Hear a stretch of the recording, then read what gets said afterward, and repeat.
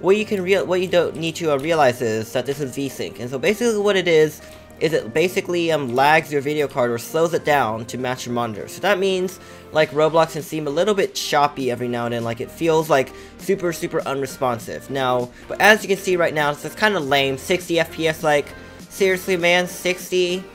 Okay, just double click injector, now, as you can see now, 160, 180, like we just instantly added 100 FPS and this just feels super super smooth. Hey everyone, my name is Sister today. I'm going to be playing some Jailbreak, and what I've discovered recently is a really, really interesting trick. I'm not sure if you guys know about this, but there's currently in Roblox a 60 FPS limit, which I can show you by pressing Shift F5, and as you can see up here, the FPS is limited at 60. What I'm going to go ahead is show you how to unlock it just like so now Roblox is at 70, 80 FPS. I'm going to go ahead and just become a prisoner. And you can see I'm running jailbreak at um, a fairly high FPS. I mean, I would be able to get higher if I wasn't recording on my CPU. So, like, whenever I'm not recording, I have, like, some screenshots of it. I'll throw it up here from, like, 80 FPS in jailbreak, 100 close to that, and, like, 120 in Phantom Forces, 300 in the Egg Hunt game. I'll show you this is not limited to just jailbreak that this trick will work across basically all of Roblox. So I'm going to show you how to get to the link, download, install, and basically everything you need to know to get unlimited FPS in Roblox. So what you need to do is go to this URL right here. It's a GitHub link. It says um, confirmed virus free. I've run several antivirus scans. I've told my Discord to run some antivirus scans.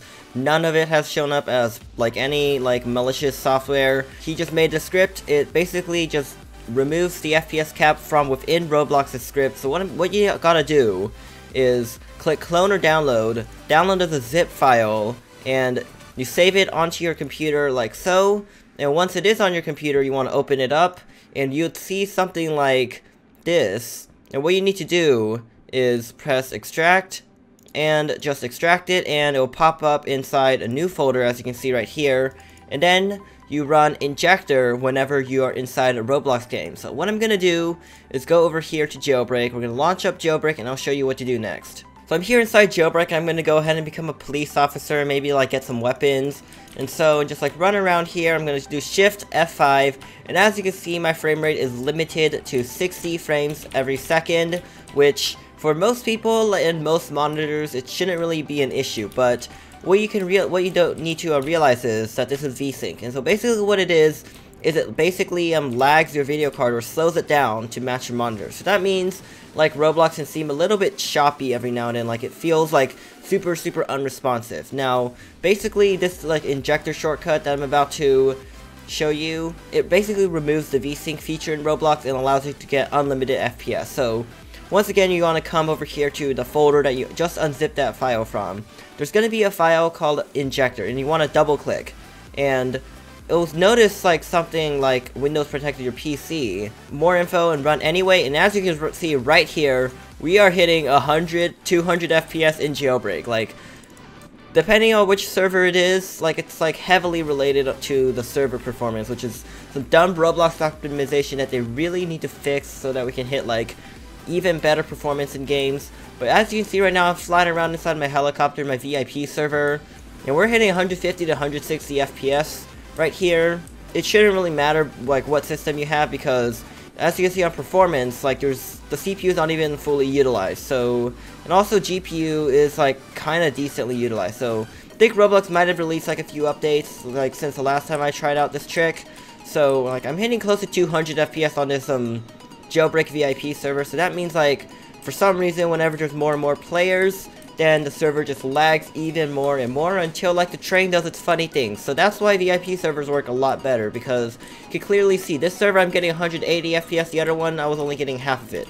And whenever you are getting half of it, then the train does funny stuff. And what you might notice is like now whenever you move your screen around, it's Roblox just seems so much more responsive. It's like super super beneficial for like Phantom Forces, and other like Roblox um, battle games. So like, if you ever played like Fortnite or something, you realize how like how smooth it is, and you want that same thing in Roblox. Well, this is how you do it. You basically just run that injector, and now I'm just flying around in jailbreak, and it seems super smooth. And I will show you now it's not just jailbreak that gets this like super boost.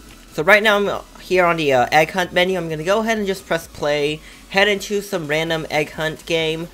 So I know many of you guys are like getting the Golden Dominus. So Golden Dominus, in case you guys don't know, is in the egg hunt game.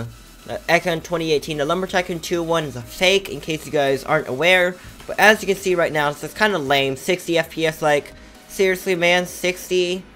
Okay, just double click injector now, as you can see now, 160, 180, like we just instantly added 100 FPS and this just feels super, super smooth, and we're gonna go ahead and go to like hard-boiled city and something, I'm gonna show you that as long as you have not closed Roblox, then this thing should still work. So you can see right now I'm getting like about 110 FPS on Roblox and I did not have to um, reopen that. It's because I did not Alt F4 or Escape Out Enter or whatever you want to do to get out of Roblox. Like, Roblox has been open while I was teleporting to this new world. So, how to get the egg, basically I'll do a quick, like, tutorial, I guess, in, in another tutorial kind of style. G, U, N, T, E, and R and you get like this funny animation. Okay, so as you can see here, we're inside this new world, and because it's a single player world, you can see I'm getting like 200 to 300 FPS.